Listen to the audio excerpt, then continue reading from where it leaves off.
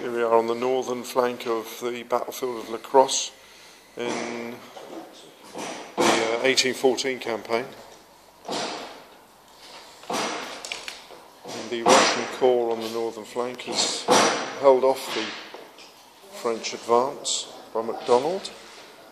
There's now counter-attacking onto MacDonald a bit of a bloody nose after some lucky die rolls early, taking out one gun from each of the three batteries that the uh, French had deployed against them.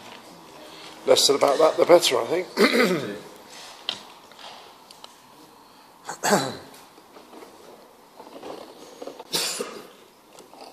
Mr. Lucky Bastard oh, so, so for anybody under 16 watching this video, He said. he said.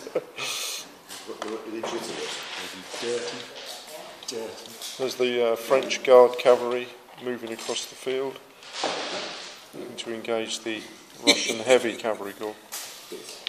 Cuirassier coming up over the ridge. Prussian Uhlans and Hussars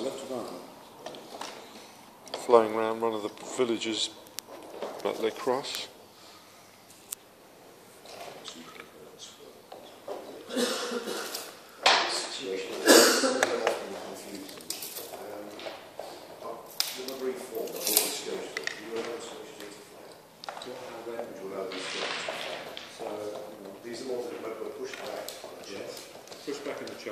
So uh, we'll see how it all develops. The centre, the French centre, seems to be uh, stepping up now, moving off, assaulting the Prussian centre.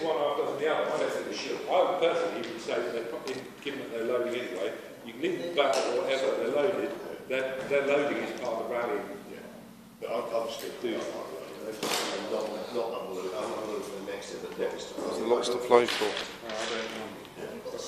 Even, yeah, even if they're loaded, I would